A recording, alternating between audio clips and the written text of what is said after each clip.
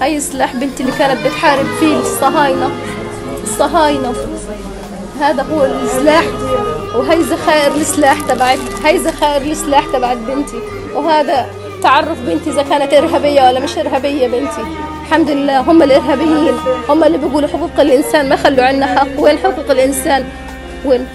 حتى البلطو هذا ما شفع لها عندهم. حسبي الله ونعم الوكيل. وين حقوق الإنسان؟ وين حق بنتي؟ وين؟ المسعفة رزان النجار عمري عش- 20 سنة. في الأول يوم كان بالنسبة لي أصعب يوم.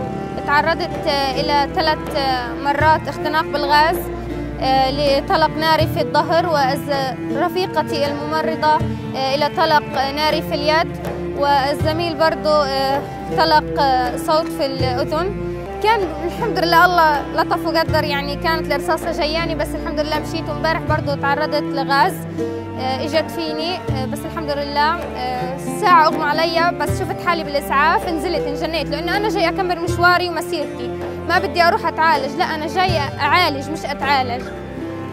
بكل فخر وبكل اعتزاز أنا حابة أكمل لآخر يوم. يقول تستشهد بدقيقه قبل ما تصاب بدقيقه بحكي لها رزان الوضع صار صعب قدام ترجعي اطلعي ورا.